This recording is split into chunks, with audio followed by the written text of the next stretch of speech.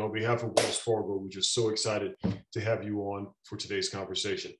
You know, from a perspective of what we're doing from our community, want to remind you uh, that Wells Fargo has been a longtime advocate of higher education and supporting students along their respective higher education journeys. If you look back over the last 10, 11 years or so, you're going to note that our firm has provided over $97 million of financial support for higher education programming. So great events like these, but also for scholarships to help students along their academic journey. So all of those things are happening uh, as a result of Wells Fargo's commitment to helping each of you all as students and, and scholars and celebrating you along that academic journey where, you, where we need to. So good things there. And also see on the bottom of the page some of the work that's been done amidst the pandemic, you know, making sure that we're providing specific financial support to help students at those most critical times to stay in school. We never want to have anything come up financially that prevents you from being able to continue your academic journey. So special thanks uh, for allowing us to provide those dollars to you all uh, along those areas. I think our next slide here is actually going to be uh, a bit of a handoff. I get to bring on another trusted partner of ours in Betsy Burton Strunk, great partner and leader within TMCF. So Betsy, we've got a great, great group of folks here with us. I want to give you a moment to say hello to the band and then we'll continue the conversation today. Well, thanks so much, Dewey. I appreciate it. And I love the music that we're playing together. So anyways, thanks everybody for joining this call today. Um, Thurgood Marshall College Fund is really delighted to host the Beyond College series. And hopefully we'll see each and every one of you every month during these calls. But Thurgood Marshall College Fund is celebrating its 35th year of, of being around. As an organization, we provide scholarships, internship programs, we provide immersive experiences as well as other opportunities for students that attend HBCUs and predominantly Black institutions with experiential opportunities to really be able to compete in the workforce, whether it's through entrepreneur or entrepreneurial activities or just really learning more about leadership opportunities, Thurgood Marshall College Fund wants to be there every step of the way. So you can see those, those uh, notes, but the most important thing to recognize with Thurgood Marshall College Fund is knowing that we put students first. And as you'll see on the next slide, the, the mission of Thurgood Marshall College Fund, as you can read along with me, is to ensure student success by promoting educational excellence, both what you're all getting at your institutions, as well as preparing the next generation of workforce talent through our leadership development programs and the programs that we have with our partners, like the ones that you're seeing here today. So I hope that you get everything out of it. You should link in with every person that you hear from today because as we talk about mentors and sponsors, everybody here is out for and eager for you to be successful. And we're here to help you. So take advantage of those opportunities. So thank you for being here today and for paying attention. And I am going to turn it back so that we can keep the songs moving. Betsy, thanks a million. And congratulations again to you and the entire TMCF team for all of the great things that you're doing and also have, having an opportunity to partner with our firm relative to the Beyond College webinar series here for 2022, now in its eighth year. So we're pretty excited there. So listen, team, here's our runner program for today. We'll have a broader agenda that the team will cover off in just a couple of minutes, but just wanted to touch on, hey, listen, we've had an opportunity to do the Wells Fargo and, and TMCF introductions from, from that perspective. We've got our recording reminder kind of taken care of. I always love the buy the numbers piece, and you guys have done it again. We have, as of kickoff, 152 folks that are registered here for today. So really, really good information there from that perspective. We've got high schoolers all with us today. So high schoolers, special thanks to you for, for joining us. We've also got our top colleges. You know, we love to do the roll call here. So I think it may almost be an HBCU sweep between our friends out at Bowie State, UDC, North Carolina A&T, and then also uh, CUNY York. So great, great connectivity there across those wonderful institutions. So huge shout out to all of those schools for referring students to today's discussion, and we're really, really appreciative of it. From a from a referral pers perspective, we've got our highest referral source today was Wells Fargo employees. So Wells Fargo employees are actually the ones that are sharing this information the most with scholars, colleges, and universities of respective students. Came in second place here with things. Certainly, there in those top three and five, we have Point Foundation with a good number of students today, the Hispanic Scholarship Fund, and of course, you know, it's Thurgood Marshall's call, you know. So you know they had to had to set the market here relative to the wonderful schools that are participating. So that just gives you a sense of the numbers. And we love to share those shout outs to kind of get things moving here. You know, some Zoom etiquette, just some reminders for you. Only our presenters are the ones that really need to have their video enabled during, during the sessions with things. Don't forget to keep yourself muted. Use that best Zoom etiquette. Make sure that we're, having to, making sure we have a wonderful call. For optimizing viewing, go ahead and select speaker view. That'll actually allow you to bring the speaker directly in. You have the ability to kind of customize that by clicking, I think, on the little ellipse there or clicking on the view portion there at the top of the screen. Uh, and you also have the ability to hide any of the non video participants by again hitting the ellipse there and making the adjustment from that perspective. So you all are masters at using Zoom now, uh, digital natives as we like to call you. So you guys how know how Zoom operates you know, what to expect from today. We're going to have a broad conversation around mentors and sponsors. You're going to get insight, you're going to get direction on pieces that are going to be very, very helpful for you. Whether you have a mentor today or whether you're looking for one or whether you think someone may be sponsoring you or you're looking for a sponsor, you're going to have ways to get that great information.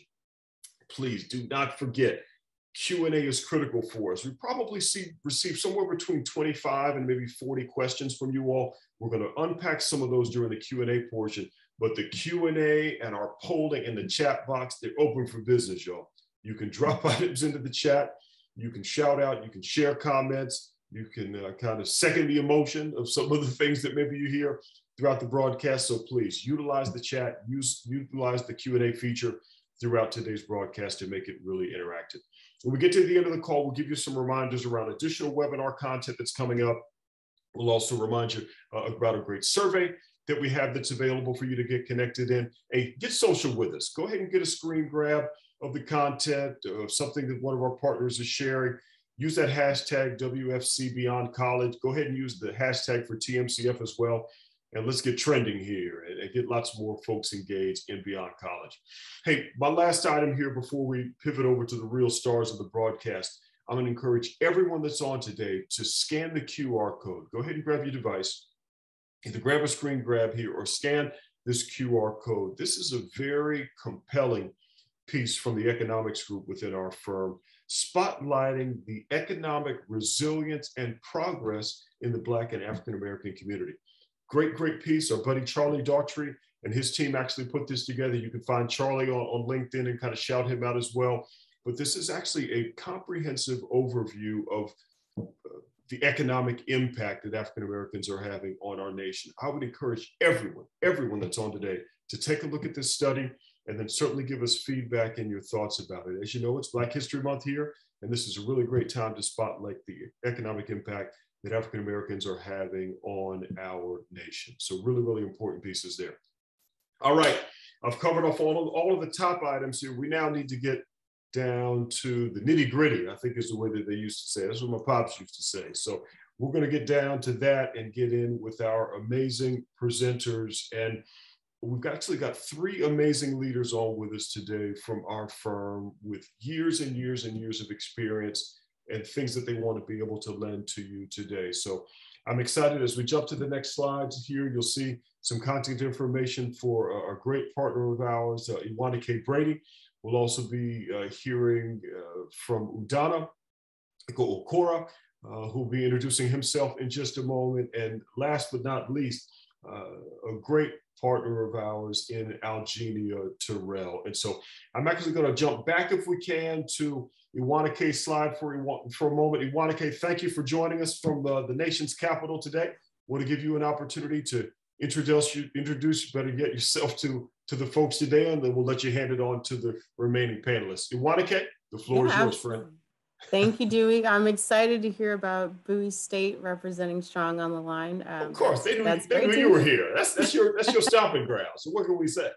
So um, just good afternoon, everyone. Um, I am Iwanike Brady, as Dewey mentioned. I have a unique role here at Wells Fargo. My role was created specifically to address housing disparities. Um, I lead the African American segment strategy for Wells Fargo Home Lending. I'm responsible for creating and implementing strategy and support of addressing the racial disparity in health and homeownership that we face as a nation. Um, essentially, I look to uncover segment insights. I research areas of opportunities to engage deeper and advance home, home ownership for African American borrowers. Um, I've been in the mortgage business for almost 20 years. I am a graduate of The Ohio State University, uh, a proud member of Zeta Phi Beta Sorority Incorporated, and most importantly, I am a mama to an amazing five year old. Um, I am happy to share insights from my personal career journey. Um, it's a pleasure to be here with you today, and I look forward to this discussion. So, thank you for having me, and I will turn things over to Udana.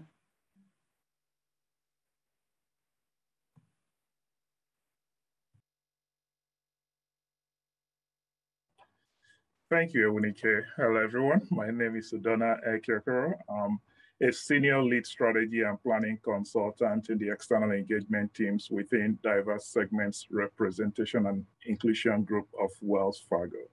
Um, I've been with Wells Fargo for 16 years, and in my current role, um, I lead the development and implementation of the strategic operational framework for our group and also oversee the development of our internal business processes. Uh, prior to Wells Fargo, I worked for Accenture and also with Merrill Lynch. Um, I have a Bachelor of Engineering degree in Electronics and Computer Engineering from the Federal University of Technology in Nigeria. And um, I hold a Master's in Telecommunications from the New Jersey Institute of Technology. Um, I'm located in St. Louis, Missouri with my wife and family. Um, I have a daughter who's a senior um, at Barnard College in Columbia University in New York, and a son that is a junior in high school. And I have twin boys that are in eighth grade. So that's all about me. I'll hand over to our next panelist, um, Algenia, for her introduction. Thank you so much, yeah. Udana. Hello, everyone. My name is Algenia Terrell, and I am lead digital pro product manager within the Strategy Digital and Innovations Group. I've been with Wells Fargo for 15 years in various capacities, such as strategic planning, technology and operations program management, and then risk management. However, I am most proud to say that during my tenure with the firm, I have been a diversity champion, training leader, and mentor focused on making a difference in the lives of our team members. I am married to a wonderful husband whom I always jokingly tell um, he's the lucky one, but I am the lucky one as well. And we are proud parents to uh, two children. One has graduated and off on her own, and then I have a senior that is graduating this year. So uh, let's get started with our program. I will now hand it back to Udana, who will lead us into our program. Thanks, uh, Uh, these are the topics that we're going to be covering today. Uh, in our webinar, we'll cover no, the, no,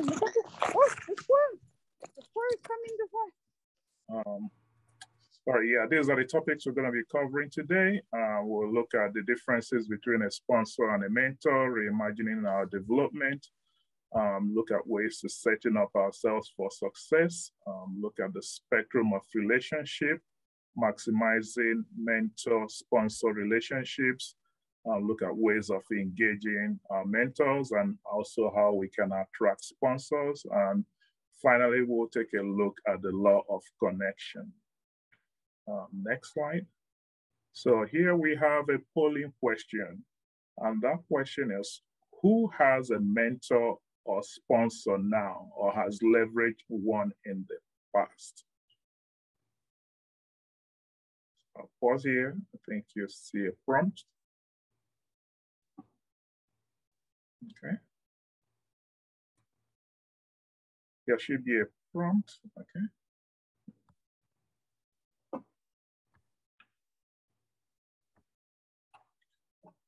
Interesting responses. So I see that we have several folks here who've had experiences with sponsors and mentors. Um, that's that's great. It's great response. Thanks you, every, thank you, everyone. Uh, we'll move to the next slide. Okay. So this slide is an excellent paraphrasing of the 10th law of connection from one of my favorite authors, John Maxwell. And it says, when you attract, when you attract with people, the heart must come before the head.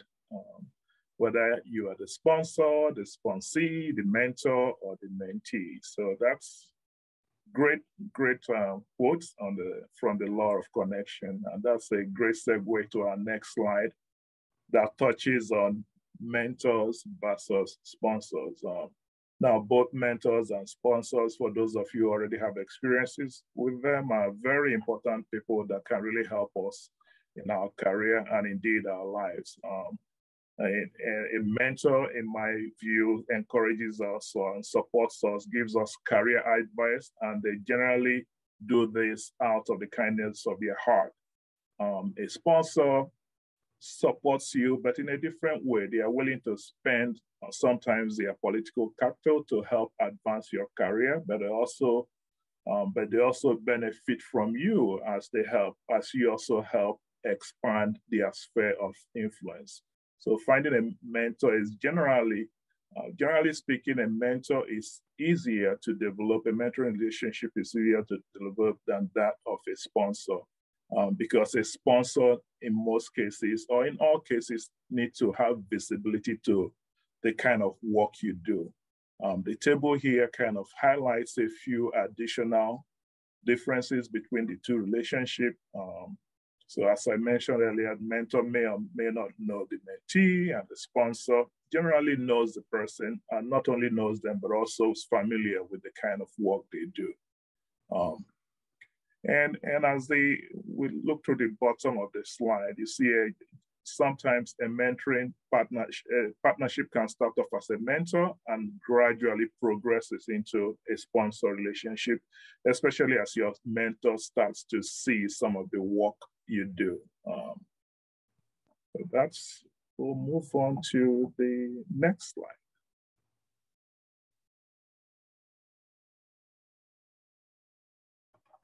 Udana, that was a great overview of uh, the comparison between a mentor and a sponsorship. Thank you for sharing that. Uh, while I have you though, can you share instances where you have had a mentor or a sponsor during your career? That's an excellent question, Virginia. Um, I've actually had several mentors and sponsors over the course of my career, but most recently, um, I have um, one that some of the people here may be familiar with. Her name is Gigi Dixon. I had briefly worked in a working group for our CEO with her um, about two years ago. And, and after that, she was able to um, talk, talk to our, the CEO of my division on my behalf and ended up landing me in the role that I'm playing today. So um, so she's the most recent sponsor that I have, but I also have several other mentors that have helped guide me throughout my career. Thanks. That's excellent. I too share some of the same similar experiences. And these are the reasons why I am such a fan of mentoring relationships. Well, let me say, to our audience members, I am just very excited that you all are all here with us today to allow us to share some mentoring best practices, some tips and tools for growing you and developing your career, and then helping you design ways in which to maximize your mentoring relationships. Let's segue into our next section, re, re, reimagining your development with a polling question. I'm sorry, can we skip back to the last slide? Yes. So can everyone provide a response to the question, what is the most important part of your growth and development? And we'll take a moment for everyone to respond and then uh, we will recap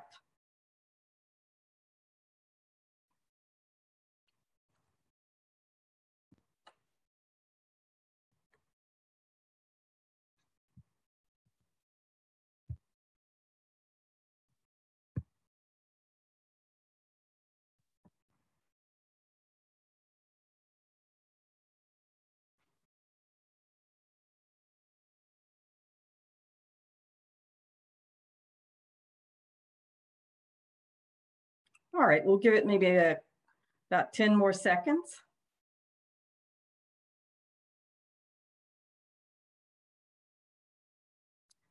Excellent. So uh, I see that most people have selected experiences as the most important part of your growth and development, but there are also a lot of folks that believe that relationships and feedback are vital to your growth and development. Uh, let's segue into our next slide, please. So here we have uh, sort of a model that, while it's not prescriptive, it depicts similar breakdowns with the main point being that experience is the best teacher. And experiential learning comes from doing, not just knowing. But what we want to focus on here is that the goal really is to blend the three. While you're focusing on your experiences, your coursework and your training and, and the relationships that you have with your advocates, you should leverage those to help continually improve your performance and even achieve your career goals. All right, let's move on to our next slide, please. So now let's talk a moment about how, how you can set yourself up for success and think about some tips and tools that will lead you towards success in your career. So our first item here says, know your why. You, you, it's so important that you understand why you are engaging in a mentoring and a sponsor sponsoring relationship and that you establish expectations and goals for that relationship so that all of the parties involved are clear on the intended outcomes. I always tell my mentees, you know, it's so important when you are engaging in a mentoring relationship to know what you're bringing to the table as well as what your ask is of your mentor. And then most importantly, with our second item here, investigate or clarify the following success criteria. It is so vital that you know who you are and what makes you successful. Know what you bring to the table. You need to understand your brand and what achievements you have attained in your career that will continue to move the, the needle on your growth in your career. Um, by knowing these success criteria, you can then develop a career and life plan so that you can articulate this information to your mentor and your sponsor so that they're better able to help you. Let's move to our next slide, please. So folks, I've had the pleasure and been blessed in my career to be able to mentor many team members um, throughout my time with the firm and with previous companies. And I'll tell you that career planning is always the foundation of our many discussions. You'll see depicted on the screen here is an illustrative example of a career life plans, life cycle plan, excuse me. And these are just high level planning steps that will help you plot your career and life pathway. As you'll see, it begins with you developing your career plan and then continually conducting a career and skills assessment, and then moving forward into adding your experiences and ways in which you can foster more experience through stretch assignments and other uh, job embellishing opportunities. And then ways in which you can improve your visibility because even for our college students and our high school students that are on the phone, it's not too early for you to develop a LinkedIn profile if you have credible experience to promote. The sooner you can begin developing and polishing your brand and getting more visibility, the more opportunities you will have. So I encourage you to look at this and begin to develop your career and life plan. Let's move to the next slide, please. So this slide says, manage the direction you want your career to take. So folks, again, for those of you that are in college, it's never too early to start thinking about this.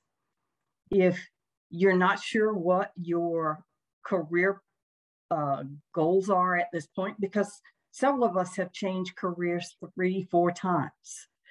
But if you can begin to use a tool like this to plot out various career profiles, you'll be able to then assess how you move from an individual contributor level up to a director level. And then how you can continue to monitor your experience and your competencies against positions that are higher in your field. All right, so let, let's move to our next slide, please. So we've talked about now uh, our the importance of having a career plan, and we've talked about um, what you would use it for, but what does it look like? Well, the slide that we have on the screen actually depicts a strategic career and life plan. And the importance is that you understand the things that you want to achieve it, it personally as well as the things that you want to achieve professionally. And this actually gives you a black and white picture of who am I? It also helps you to assess where do I have gaps in my career experience and skills to get to the job or career that I want. It also helps you to understand, you know what, if I want to be married by 28, I actually need to find somebody probably by 27. So it's helping you to be clear about who you are, what you bring to the table, and where you want to go. And this becomes the talking document that you use with your mentor and your sponsor. Um, I'll, I'll, provide you with a quote here that our, one of our leaders says, you know, oftentimes our career isn't a ladder. We always hear about moving up the ladder. Well, sometimes it's a climbing wall. Oftentimes you're going to move sideways to move up, or you're going to look at other careers that you take to come back to a job you want just because you need that skills embellishment. So think about mapping your life out in some type of strategic career and life plan because everyone, regardless of your level or position in life, needs to have a plan. Plan your work and work your plan. I leave you with this make sure your journey is purposeful and not just another stop on the train. I'll turn it over now to Yowanike, who is going to take us through the rest of our program. Thank you so much, Eugenia. But before you go, I want to ask you, um, can you share an example of your why and um, when you were seeking a mentor or a sponsor? Oh, absolutely. It was early in my career and being a young female in corporate America, there weren't many people that looked like me. And I sought out a lady that was pretty high, even though she was uh, mid senior, she was high in, in the company and well respected. And I began to ask her questions about her trajectory, the things that she did to continue to move the needle on her career, how she enhanced her brand. Um, and she left me with, uh, I, I never will forget, she told me, always be cognizant of your pie. Understand your performance, your image, and make sure that you are getting the proper exposure. That has never left me. And it's become a big part of how I actually do the marketing piece uh, of my strategic career plan. So it was very valuable advice. And uh, to this day, I still stay in contact with this mentor. Oh, that's Thank you great. for asking. Yeah, no, I love that. I love that example. And um, a lot of times it's, you know, finding that common ground that you have with someone that can help you build Absolutely. that relationship. And it's such a key point that you can share that you still have that relationship. Um, and, Yes. and that's that's something that as we kind of talk about, and we're going to go through this spectrum of, you know, relationship-based career growth, that it, it's important. Your mentors and sponsors become part of um, your personal brand, and um, I like to look at it as like your your advisory group. So, um, you know, you all may hear buzz phrases like networking is key. Um, another good one is your network is your net worth. That one always kind of stuck with me. But both of these are great things, which are true. Um, I have full transparency. So you know, Dewey always kind of promotes that full transparency. So I've I've only interviewed for one job, um, and it was an internship. And every position I've held thereafter has been because of my network. I mean, certainly you go through the interview process and, and it's upon you to be able to secure your position, but it's because I, you know, I had to learn the how and why piece to make my network valuable. And it's always afforded me opportunities to um, go into my next space or my next chapter in my career. And it's been really impactful. I also had to do what was authentic to me. Um, you know, we might have questions today and we can certainly talk about it. You know, how do you network? I was not good at it. I'm a very much an introvert. So I had to do what was authentic to myself. Um, and so as you hear insights today, you know, take from it what resonates with you and what feels authentic to you. And that's really where you're going to find your true value and, and how you network and how you approach your own career path. So I love this idea of networking across the spectrum because everyone won't fill your cup the same. And so some folks are kind of merely industry level um, contacts, and that's okay. I mean, that's what they're there for. You're networking, you're understanding um, the roles that you're playing, you're, you're getting information across your industry, and you're staying connected. Um, and you want to get to know the players in your field of interest. And that's essentially what's going to be that, that baseline of networking. And then others are there to provide you with an opportunity to glean and learn from them. You're going to lean into their experiences and their expertise. You're going to grow your own acumen, your own understanding. And for me, this one is key because you're always going to want to stay hungry. You're going to want to learn. Um, if the pandemic has taught any of us anything, it's that the acceleration in which any industry can turn on a dime can happen in a moment's notice. So you want to stay current. You want to stay invested in learning your craft. Um, you want to hone your skills. You know, this is really critical. And you want to align with folks that can that you can learn from and that have an interest in learning from you. Um, one thing you'll hear me say a lot is that these relationships need to be reciprocal. Um, as much as that you're asking for folks to give to you, there's certain value that you add to this relationship. Um, you know, every year I identify an area that I have no knowledge, that it's for myself to make sure that I'm always engaging in learning. And, you know, internally we call these stretch goals. Um, but I connect with my immediate leadership and I align myself with opportunities to learn in that space. And so I ask for support to open doors um, for me to sit at those tables um, that I normally would not have access of or even awareness about. And so I think it's really important that you engage in those conversations and insert yourself in spaces um, so that you can have an opportunity to learn and grow. And so that kind of brings me to this notion of coaching. And I've been very fortunate that every role I've had, um, my management has acted in that coaching capacity. And that may not always be the case, but it's it's been a blessing that I've had the opportunity uh, that's been afforded to me. And coaches is exactly what it is. They're there to guide you. Um, they allow you to fail. Failure is okay. You know, that's one of those learning tools that you figure out what works and what doesn't work. They support you. They're going to challenge your success. They're going to challenge your process. They're going to challenge your intentions. And you want that. You want someone that's going to identify roadblocks and, and areas where you may to need to have strength, or kind of bring, bring in some supports to get to where you're trying to go. And so here, this is where you're going to start to discover spaces where people take a vested interest in you and your success.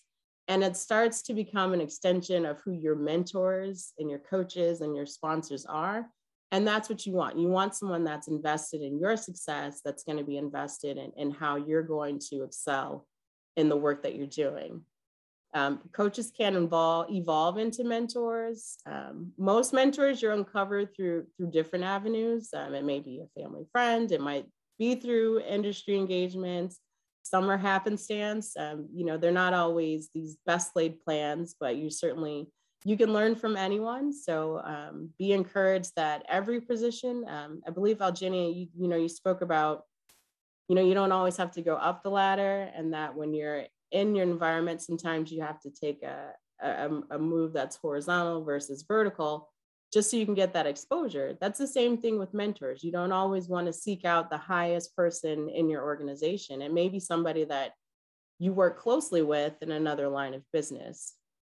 Um, so you, you really want to um, be thoughtful when you're entering into a, a mentor and sponsor space. Um, you're going to build a personal relationship, um, and it's it's going to be built on trust, and, and you want to make sure that you're reciprocating that and that you're valuing that relationship. And keep in mind, mentors and sponsors, they're excited to engage with you. You know, you're you. I know when I've secured a mentor, I'm like, wow, I can't believe this person actually, you know, wanted to mentor me, or I'm now their mentee. But at the same time, there's a sense of pride in being able to pour into someone else and bring them along within their career journey and see them succeed. Um, so you want to look to um, engage across your organization. Um, you're ultimately building this kind of advisory committee for yourself. Um, you want folks that you can bounce ideas off of. You want to do this in a space that's in confidence, um, folks that'll have discretion on your behalf. You want to lean on people who know your goals and your values. So um, the, the chart that um, Algenia had showed you earlier, that's certainly helpful. I, I, didn't have those tools and resources when I started off in my career. So it's great to see that there's there's tools out here that you can leverage and use to your advantage. Um, there's so many conversations that happen when you're not in the room that you need advocates who can vouch for you and speak on your behalf and that's that's a lot of what comes out of being able to lean on your networks and and your sponsors and your coaches that you kind of have built up in your sphere of influence so I spent a lot of time here because it's important to be able to know how people fit into your plan and where to spend your energy based on the outcomes that you want for your own career. And so we can kind of move ahead. And so when we talk about a roadmap, you know, and then the next two slides are going to kind of go hand in hand. And the first one really is going to outline the how. So know your audience. Um, definitely do your homework. Uh, when I worked at Women's Wear Daily before joining Wells Fargo, um, I actually worked in the fashion and entertainment industry, and we had big events like the Golden Globes and or LA Fashion Week. And my job as an intern was to make networking books. Essentially, is what they were. They were literal books that I had to uh, put the image of the guest, uh, what they were known for, who their publicist was, any connections um, that the attending editor would need to know um, when they had conversations with a guest. And my sole job was to make sure to study them. And if the meet and greets that needed to happen happened at some of those events. And so this is kind of an extreme example, but it holds true to this day. You know, I still research attendees when I go to conferences. I look to see what connections or like interests we might have, if we're on similar board affiliations. Um, I, am a member of a Black Greek sorority. So it, it, do we have something that we can connect on? If we're able to meet and engage at, at events. And so it's important to understand their sphere of influence. Um, you want to ask questions. You want to make sure that um, you find out, you know, how do you like to, how do they like to receive information? Is it text message? Is it a phone call? Do they want an email? There's just different opportunities where you can um, really lean into the folks that they engage with to understand more about your mentors or sponsors and make sure that's a relationship that you want to engage in. Um, you might find out things that it doesn't benefit where you're trying to go in your in your career path, and that's okay. And to have those conversations, and that comes down to when you're communicating that ask, and you go in to have some of these meetings, you may find out that this might not be the person that can help you, um, that can help you achieve your goals but they may know somebody that can, understanding what you're trying to accomplish. So it's important to have very transparent conversations when you're talking about the things that you're looking for. Um, if we can move forward. And so when you get into that space of having mentors and sponsors, you know, it is important to have that plan. And um, you want to look at things that you can really leverage. And so this acrostic that's on the screen is a great um, opportunity. This is one of those moments, like if you, if you had this in paper, you could dog ear it or screenshot it, like Dewey was saying earlier. But this is an opportunity to, to really kind of drive back, you know, what is my sweet spot? You know, where are the skills? Where are the things that I need from the organization? And where does that meet where I have a passion? And just to give you an example, I work in home lending. I work in mortgages. For the first 15 years, I worked on the secondary side of the house. This is essentially where you as a homeowner um, want to buy a want to buy a home, you get a mortgage. A mortgage company might sell it to an entity like Wells Fargo. Wells Fargo will then package it and sell it on, on Wall Street. That's a very simplified version of it, but that's that's the process.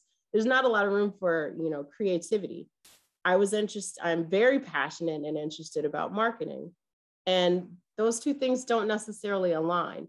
So for me, I would seek out mentors in that marketing space, but I knew that I needed to be in a sales role to understand the challenges that our customers and our consumers had, and I needed to learn. So I went into a role knowing that I could understand the products and programs so that eventually one day, if I transition into marketing, I could understand what those challenges are and I could be an effective marketer for that space. And these are conversations that when you have mentors and sponsors can help you align your, your career path so that you're able to be successful in the spaces that you're trying to go into. And so as we move ahead, some other things to consider is, you know, your progression. You know, what are the things that interest you? Ask questions, ask a bunch of questions and, and be honest, mentors and sponsors are going to the first thing they're going to ask you is what do you want to get out of this? And so you need to come prepared. You need to understand the things that drive you that motivate you that where your interests lie. You want to make sure that you're finding out about them. Again i'll re- keep repeating this it's reciprocal. You want to make sure that you're building these relationships. Um, algenia mentioned earlier that she still talks to um, mentors that she's she gained early on in her career it, you never know um, at what point folks can continue to pour into your trajectory and where you're going in your career path. And you just want to make sure that you're able to um, stay engaged. Um, your follow up with mentors is extremely important. You want to make sure that you're thanking them for their time. You're following up on, you know, if, if one of the goals was to get a certain job, you want to make sure to let them know if you were able to acquire that role or that position you want to kind of close that loop and make sure that they're staying, um, you're communicating with them openly and clearly and staying engaged. And then you want to have joint goals. So, one of those things that they can help you along the path, you want to lean on people. You know, you're not going to be able to do everything on your own. And, and one thing I've learned early is that if you're transparent and you let people know what you're trying to do, more often than not, you'll find more folks that want to help you get to where you're going than, than hinder you in that process. And so if we can move forward, just a few words of wisdom again to outline. Um, you know you certainly want to contribute to this relationship. Understand that you have value. You bring that to the table. You want to own your success. Um, you know a lot of times people shy away from talking about the things that um, make them who they are, that made them successful, that got them to where they're going. And it's not in a boastful or bragging way, but there are things that you should be proud of as far as your accomplishments. And your mentors can help you be an advocate. They can help you craft your, your story, your own personal brand, because that's really what it is. When you're working in a company, how you show up every day and the relationships that you have start to build your own personal brand. And you want mentors and sponsors that can advocate on your behalf, especially when you're not in those rooms or they're having those conversations about you. Um, be respectful of their time and yours. It's it's, the adage, the oldest adage as far as like you know, do unto others as, as you'd like done unto you. You know, time is is very valuable and important. Um, so you want to make sure that you're respectful of that. You know, setting your goals, working towards you know fulfilling them. And, again, um, I'll just kind of wrap things up with understanding that you're walking in your authentic self. Bring wholly who you are and what you're trying to accomplish and being transparent. And folks will certainly buy into supporting what you're trying to do. And la- I mean, the best part about this is have fun you know this is building your your life journey your career. You spend hours upon hours with folks in, a work environment and you want to make sure that you're enjoying the work that you do and that you feel fulfilled. And being able to have these honest conversations with mentors and sponsors are really going to help you be able to position yourself to really leverage and, and find joy in the work that you're doing. So i'll pause here for a poll on self-reflection and we're just going to ask the question Am I very clear about how a mentor sponsor can support me in achieving my goals? And so your options here are strongly disagree, disagree, agree, or strongly agree.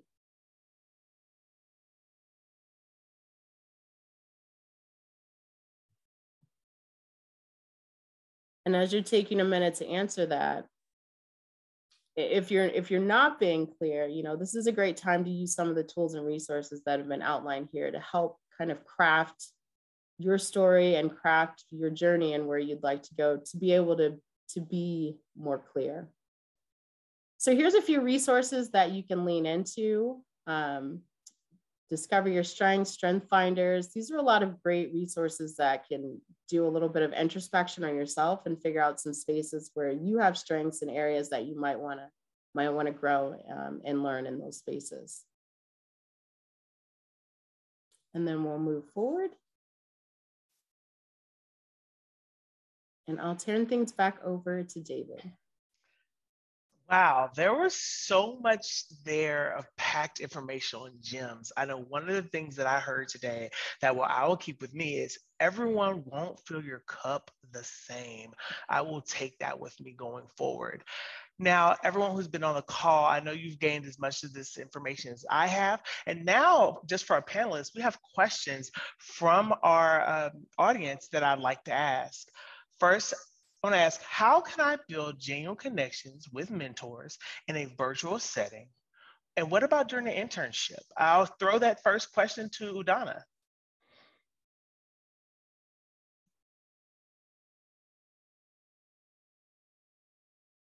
Udana, I think you're on mute. Sorry about that. Thanks, David, for that question. I um, the um, it's a very interesting question. It kind of ties some somewhat to what Iwanike shared about um, part of of um, her, uh, um, the the fact that she does seek out stretch assignments, right? So even in when when um, as a result of COVID, we find our times we find ourselves working a whole lot in this virtual environment. But you can also in those environments participate in projects that are part of your stretch assignments.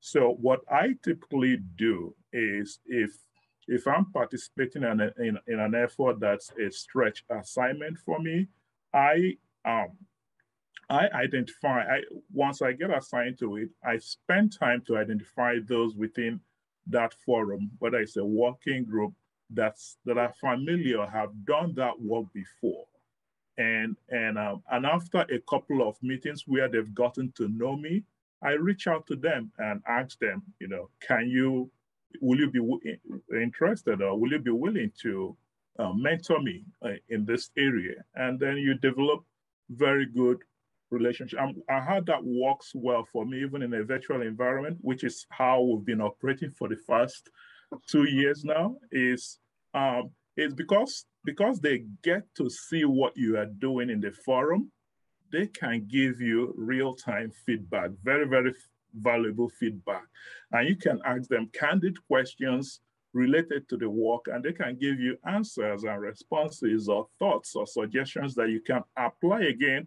And the next time you go back to them, you can also get another feedback on how that panned out. So it's um, that's a technical approach that has worked well with me, and I, and um, it's worked even in uh, virtual in the virtual environment we operate, operate on. And I encourage you um, to try that out. Thanks. Thank you. No, that's an excellent answer. Um, I also want to bring forward, according to researchers, there are five types of mentors. How do you ensure that you selected the right people and ensure that they're aware of their mentoring role and type? And I know that we covered this earlier about, you know, making sure that they're aligned, but how do you know what you should be looking for? Jeannie, I'll throw that to you. My apologies, I couldn't get off mute. Boy, what what a great question. First of all, it's important to talk about your synergies and to understand your personality type, your career experiences, just the many commonalities that you may have with a mentor, but also some of the things that you find as opportunities.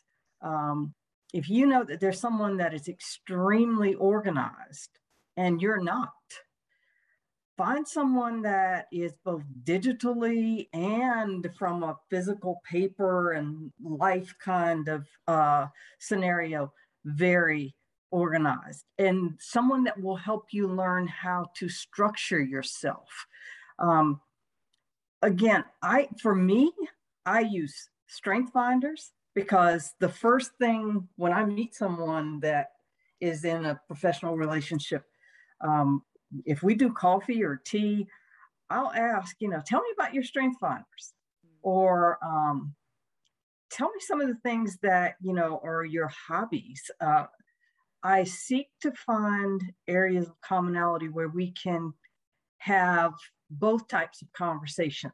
But then I also seek to find ways in which I can help improve this person.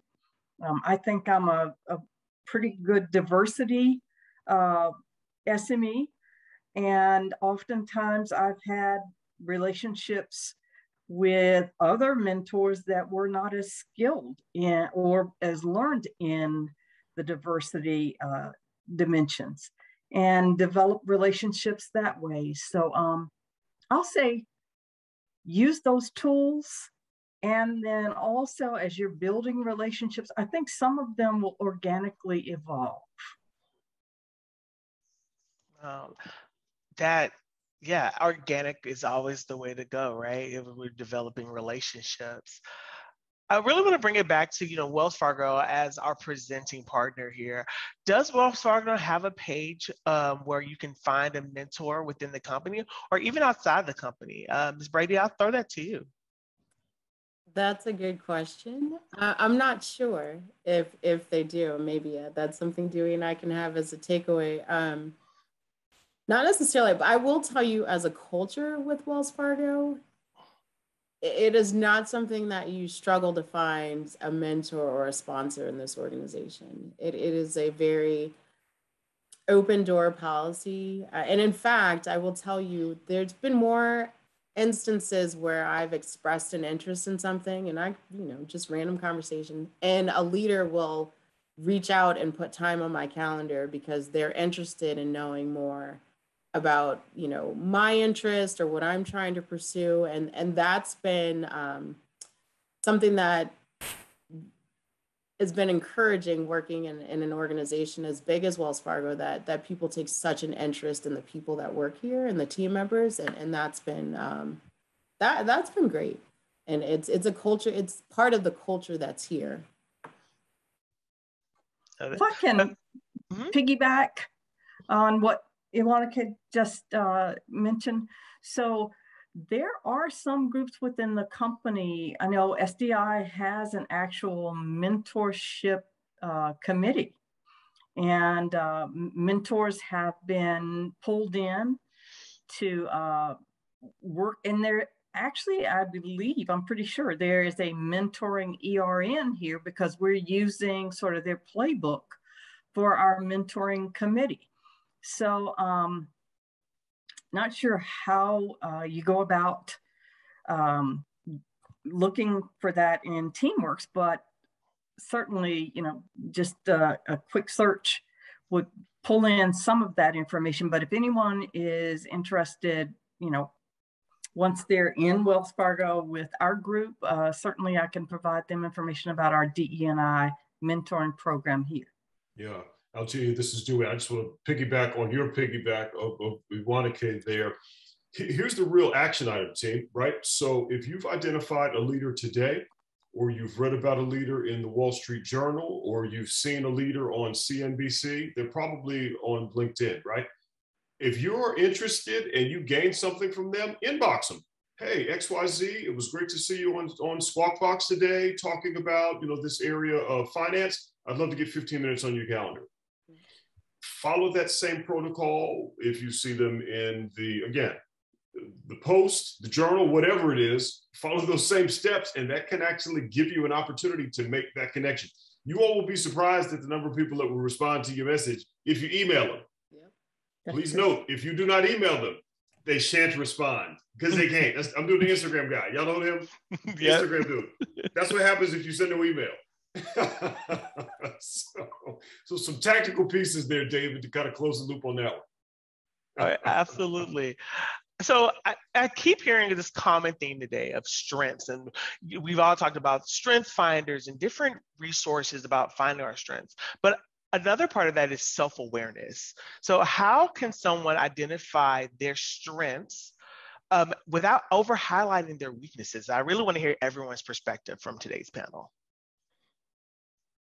So, I guess I'll jump in. Um, I we have a new leader in Wells Fargo. Her name's Kristy Fercho. She's the first African woman, American woman to lead a home lending, and I love uh, when she first came on board. She shared about um, a mentor that had her ask, you know, what are the things, like the five things that people would describe you before you walk into a room? Like what would, what happens when you walk into the room? What's the presence that you bring with you? And then also, you know, to have people describe you.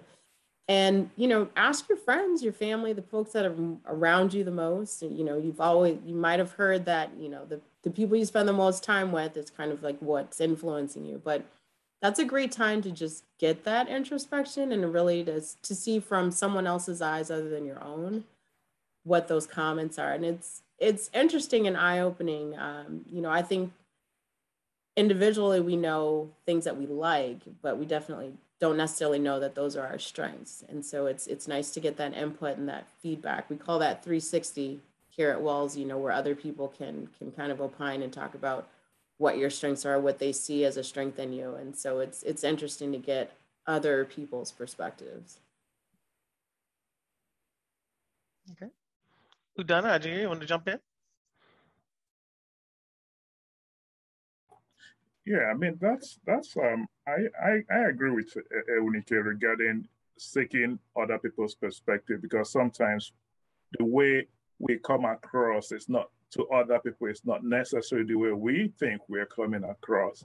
Um, so, but but um, if you have access to it, uh, you're in a in a school or organization that have access to it, take take the personality profile test, and that gives you. Some of them are really really good. At Wells Fargo, we have what we call the Strengths Finder test that we use. Most of the groups use that a lot. And that can give you a good insight into your personality type, what your key strengths are.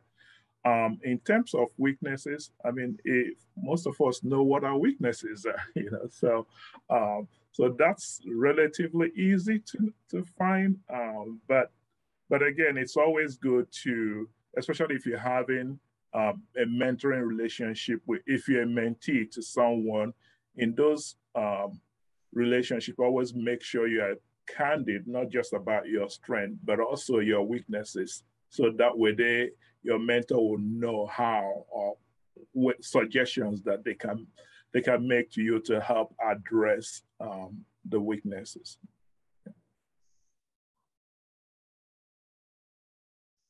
Jay, I think you're still on mute.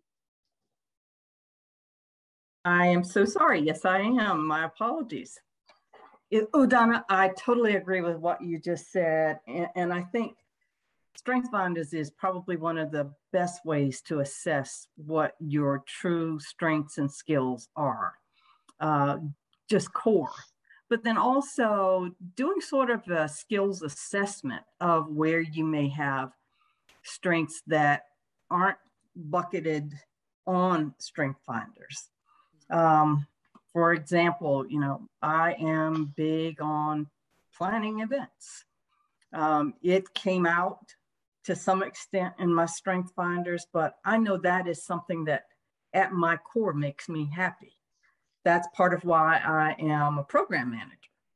Um, I think there are also other uh, avenues in which you can learn what your strengths are, and that's in looking at how, when you do your performance appraisals, evaluate, when you do that evaluation, be honest with yourself and understand the things that you really need to bone up on so that your weaknesses become clear to you in every job or in every um, life event so that you really become determined to change and improve upon those things. Now, I guess the, the point that you made about without over highlighting our weaknesses, I don't think you can over highlight a weakness when you're being honest with yourself. Now, if I'm sharing with my mentor, of course, I'm not going to go in with a laundry list of things because I don't want to give them the wrong impression about myself. But I encourage people be candid and honest with yourself about the things that you really need to change and even those things that you um, discuss with your mentor, be open to their feedback. Oftentimes, when people are candid with us and tell us who we really are, we don't want to believe them. That is a phrase that I heard many years ago. Um, when people show you who they are, believe them. Well, when people tell you you tell you who you are, believe them. At least give it a chance and embrace it. Don't uh, deal with it from an emotional perspective. Um, take time to digest it and figure out how you can change or at least influence those things so that they become a positive. Awesome. Fantastic advice. I would just shift gears just a little bit. Uh, we talk about mentors like within our companies reaching out but what if you've had a great mentor and you know you've left that company you just you've disconnected how do you go about reconnecting with that mentor especially if you don't if you no longer work there you call i'm sorry what was that i said call them yeah give them a call and and people get it. Life happens you know you transition you move on time passes and and it's okay you know acknowledge hey, i haven't talked to you in a long time or you know it's been a long it's been a while and um, i just want to catch up you know just be it. That's when that authentic authenticity comes into play. You know be honest and and you know people are willing to help and they understand that you know you're going to change roles and you're going to move on from the from the company and um, as long as it's a relationship that you both value they'll they'll show up and that, I mean, that's a great response, Iwanike. What I'll add to it also is that we, we're fortunate that in this day and age, we have tools like LinkedIn. So I encourage everyone, um, if you don't already have one, try to set up a LinkedIn profile and not only set up a LinkedIn profile, for those people who you work with at your job that who are your mentors, your, your sponsors, make sure you connect with them through LinkedIn.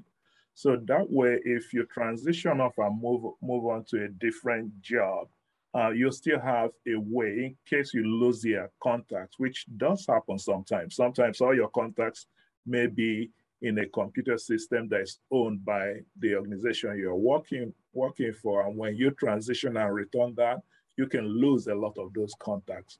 But then you still have LinkedIn and just sending, sending them a quick note if you're in town, very close to them, say, oh, when are you available? Let's have lunch. And you can reconnect that way with them. So that's um that's a, that's a way I could I'll suggest you approach it. Okay. So also after that that connection has happened, how do we talk we talk about um, mentorship and sponsorship, and we know that it, the panel has done an excellent job today about differentiating between the two, but approaching asking about will you be my mentor versus being my sponsor how is that approach different I'll take I, that one, David. Yeah, absolutely. Wow. So, as a mentor or someone asking to be, I'm sorry, as a mentee or someone asking to be sponsored, it's very important that you understand what that person is capable of. So, people that can oftentimes mentor you may not be in a position to sponsor you. And someone that is able to sponsor you typically will have more of a relationship with you so that they feel comfortable recommending you. And so that they're go- they're willing to go out on a limb for you and stake their reputation on a, a recommendation for you. Now i uh, and i want to stress this here to our, our uh, students that are on the line because many of you, as you begin your careers, um, no one's going to coach you on how you should engage with your mentors and your sponsors. So, bottom line, remember that when you're reaching out to these folks, you are to do the hard work. It's not for them to get you a job. It's not for them to reach out on your behalf unless they offer to do so. Be cognizant of what your accountability is in that relationship and what you can or should expect from them in those roles. Awesome, fantastic, fantastic advice, and I thank you for that.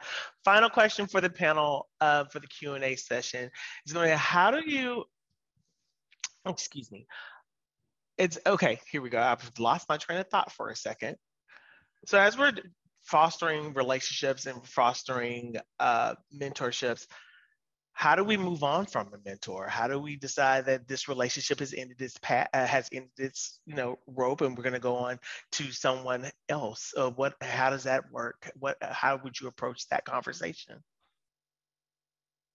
That's a good one. I think um, some of the tools that were outlined here. So if you have a plan and you're pretty transparent with the person that you're working with from a mentor relationship, you know, reaching your end goal is, is a great way to kind of um, close out that chapter.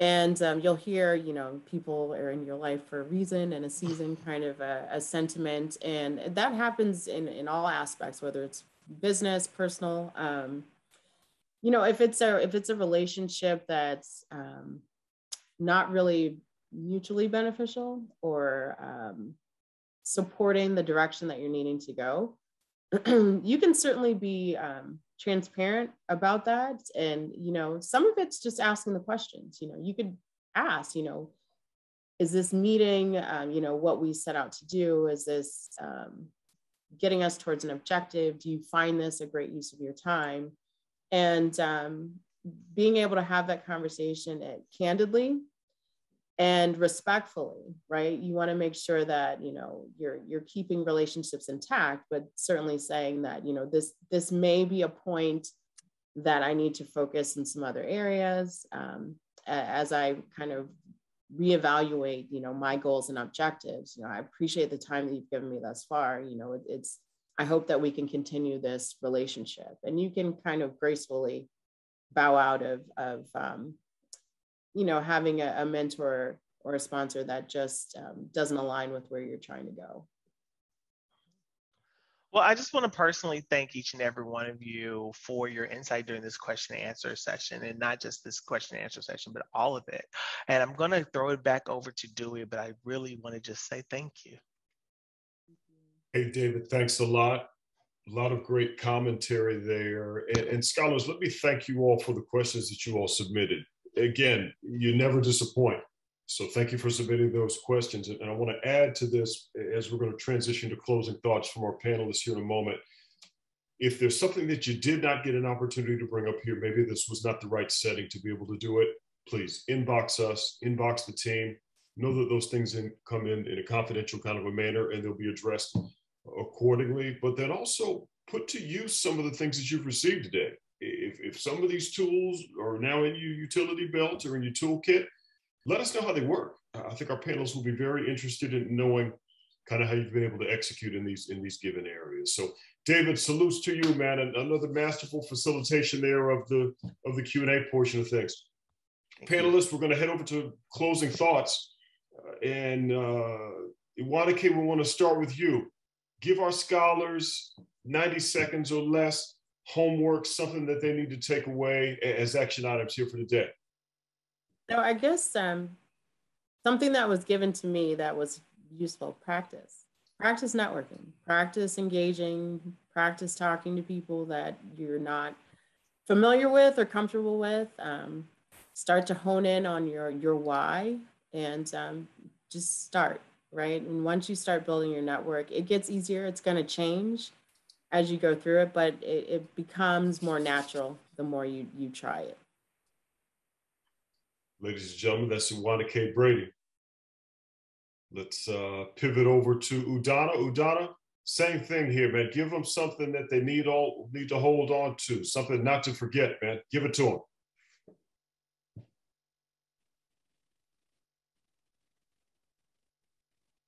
Sorry, it took me a while to come off of mute, uh, but um, I mean, it's not always easy when you start off, when you leave college or leave school and start off a new job to have, to know who to approach for being a mentor.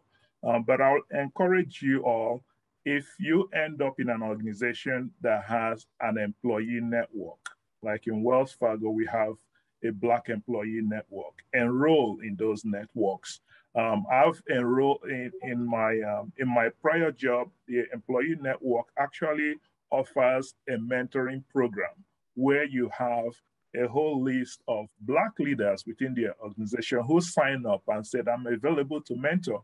And then you have a list of mentees who sign up and say, I'm looking for a mentor. And the employee network helps connect you to that. So I will encourage every one of you to participate in your employee network It's one of the easiest ways to identify people that can mentor you as you move into, um, as you start off a new career.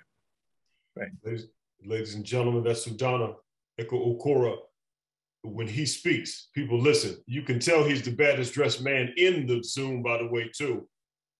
He borrowed. Look, look at this. Look at see what you can't beat. You can't beat that gear. You can't beat. Algenia, how do you dare try to follow up with with that one? But give us your tactical takeaways. Give give us something to hold on to, friend, please. And you're right, Dewey. Both you and Udana showed up in uh, just wonderful form with your dashikis. Great garb. So I think I've shared some of the nuggets that I want to leave our team members with. Yeah. Um, one of the most important things is as you embark upon a relationship with a mentor, make sure that you are building a relationship of trust so that you can be truly candid. Um, early in my career, I'll tell you, I remember the mentor that I'm telling you about. Uh, I'm sorry, that I spoke of earlier. I remember going to her and saying, you know, um, I just don't know how to start my speech. And as a young professional, here I had an MBA, and you know, I'm uh, all this education, and yet I don't know how to start my speech. And it was funny because she just kind of smiled and said, Algenia, tell them what you're going to tell them, and then tell them. Tell them. and as simple as that sounds, it was so profound. And I tell you, I don't think I could have admitted that um, point of weakness and point of uh, lack of confidence in my speaking ability at the time had I not trusted her. So make sure that you are really building a relationship of trust so that you can be candid with your mentors. And then also do the work. Make sure that you come to the table planned so that your mentor understands your goals and um, your life aspirations. It's important that they see a two dimensional person, not just a one dimensional person, because there's more to you than just Wells Fargo or the job that you take. Be very clear on what your goals are in both, and they can help you. And then lastly, um, teach your mentor something. Don't come to the table with empty hands. There are things that even you as students have had experiences in where your mentor may not have had those experiences. Um, diversity experiences, all of that is important for this to be a relationship where both the mentor and the mentee grow from it. So um, I just encourage you to not uh, be timid about seeking out mentors. Go for it, and you'll find that more people will embrace you than will say no. Good luck. That's Algenia Terrell, team. You've got her LinkedIn information here as well, and you heard it directly from the source. Come to the table with clean hands, A, and then B, with something in your hands that you can bring to those kinds of conversations with things. Stop laughing at me, Algenia. All right, team. Uh, again, let's make those connections. We got a little game running here. We want to see who gets the most LinkedIn requests. I never win, real talk. So I know one of the three of the, of the ladies going to win. I'm, I'm, i got my money on Udana today. Again, pr- primarily because of that fly gear he's got on. So, all right, let, let me get back to it. Hey, a couple of reminders, team. We've had a couple of folks ask about the, the playback with things for today. We're going to touch on that. But before we do to that, I, I do want everyone to jump to this next slide, please take a moment and go to our online survey. This is number two of 12 webinars that we're going to be doing this year in partnership with our friends at TMCF. But we need your feedback. Please take a minute, scan the QR code that's there, give us your feedback, tell us the things that you especially enjoyed about today's presentation and also the spots where we need to make additional adjustments in areas. We will be taking a look at that feedback, so please take a couple of minutes, share that information with us do want to spotlight again the remainder of the series. You're a part of, of Beyond College here. The next slide will actually give you a few more details uh, about the content here and, and, some of the opportunities that are coming up. We've already got our first item on demand. I actually dropped that into the chat just a little bit earlier. So you can jump out to the TMCF YouTube channel and you're going to see just our first webinar for the year. But eventually, as each of the webinars gets posted out there, you'll have access to all of them. So mentors and sponsors, you know, we're five minutes away from finishing everything with that here for the day. And then when we get into March, we're going to be right back with you in the early portion of March for a great discussion around resume writing and interviewing skills. Our buddy Ruth Armandades and partners from our recruiting side of the firm are going to be facilitating those dialogues. Always really good ones to participate in. When we get to April, we'll be spending a little bit of time talking about money management. And certainly as we jump into May, have some discussions around managing student debt, a topic that we know is really, really important. When we get to June, salary versus value, this is just going to give you a sense of, hey, how do I compare job offers? I've got an offer on the West Coast. I've got an offer in the Northeast. Hey, I've got an offer in the South, wherever. You know, what is it like to work in Texas versus working in Miami? Come and, and, and get some resources that are going to help you make decisions on which firms you need to be joining and which roles ultimately you should be selecting. Careers and internships, I talk about this every time. I want to break, I want to set the market team. We had over a thousand scholars register for that session last year. I'd love to see, see us get above that threshold, but it's going to be a great opportunity for you to hear firsthand about all the career opportunities that are available within the institution. August, leadership brand, kind of an extension of some of the things that you've heard here today. We'll be unpacking those pieces during that discussion in August. Path to Graduate School. This is another one of our popular ones every year where we bring in a panelist, whether it's folks that have law school experience or MBA recruiters or other kinds of areas to actually spotlight what you need to be doing to get prepared for your graduate school journey. Whether you're thinking about a full-time program or whether you're thinking about a part-time program, uh, it's a great, great session to be involved in. In October, we're going to unbox credit. Credit matters that matter during Get Smart About Credit Month. So come join us in October. And then we'll wind the year up with one of my favorite sessions always uh, around social media smarts and kind of uh, today's digital world for all of you digital natives that are out there. Don't forget, you can access other content from us. We've got a great partnership happening with partners in our corporate investment bank. Would encourage everyone to go back and grab the playback for our A Day in the Life session featuring our, featuring our buddy Wale Coxum, great founder and CEO of Mochify. So for any Mochify fans that are out there, go ahead and get a screen grab on this one. Team, please remember, you've got to use utilize that passcode as well. So when you scan the QR, it'll take you to the page, but you have to enter that password there on the screen as well. Please note, use all of the characters there and please use the special character and keep that in all caps. But a great, great session there available on demand. And again, same thing, share that session with others that you think may benefit from it as well. Last two slides here, just a reminder, team, now is the time to go ahead and build that profile, profile or build a profile on our university programs page. Get connected into the talent community. Lots of great information that that, that team shares about career opportunities and even other opportunities to kind of meet and greet Wells Fargo leaders. So please get connected to the talent community and share that information with other classmates, with folks in the fraternity or in the sorority or on the sports team or in the band or in the gospel choir that couldn't join today. Share that information with them so they can take advantage of it. There at the top are buddies at tuition for tuition funding sources. Huge shout out to Richard and his team for all the great information. They're one of the groups that sends out information about our webinars Occasionally, you'll get emails from me around these as well. But a special thanks to, to the team there at TFS for the great work that they're doing. Go ahead and set up a profile out there to learn more about other scholarship opportunities. Certainly, to any of our military personnel that are on, thank you so much, A, for your service to our nation. Uh, anyone that's maybe a retired military person as well that's joining us today, make sure you get connection, connected in with a buddy, Sean Passmore, and the team within our military recruiting group. You see their email address here. Please feel free to engage with them to learn about recruiting opportunities and additional resources that can be available for you there. And as we mentioned a little bit earlier, Beyond College, the series is going to continue to roll on between now and November. So you've got lots of good information from there. With that said, I want to begin letting you guys out of here a couple of minutes early today, which I'm sure nobody will be complaining about. But I want to thank Iwanike. I want to thank Udana. Of course, I want to thank Algenia want to thank David and Betsy and the entire team at TMCF.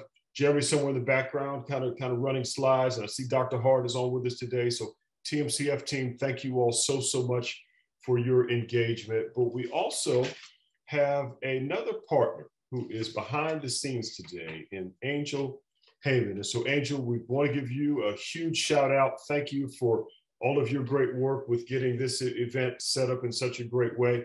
You all will be seeing and hearing more from Angel in the in the days ahead relative to all of these great pieces.